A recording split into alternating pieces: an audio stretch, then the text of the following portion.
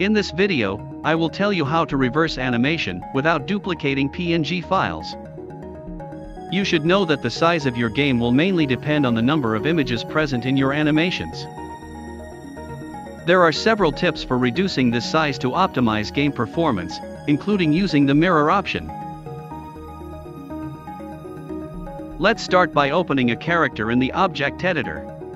My character contains three directions, right, front, and back. You can check this by opening the animation file. At this point, you have two options to add left direction. The first solution is to duplicate the frames in the right direction, horizontally invert the images using external software and import the files.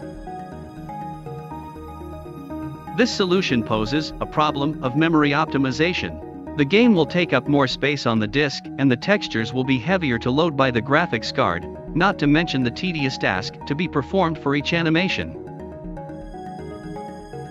The second solution is to activate the mirror option in the animation properties.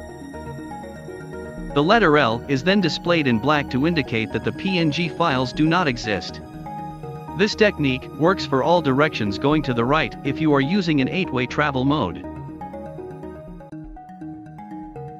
But for the rendering to be effective, it is necessary to correctly place the character horizontally. The character's spine should be in the center of the image to avoid getting off center when changing direction. As we can see for example on this animation.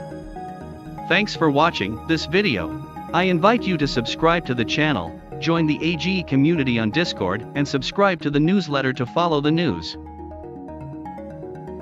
All the useful information is available on my site.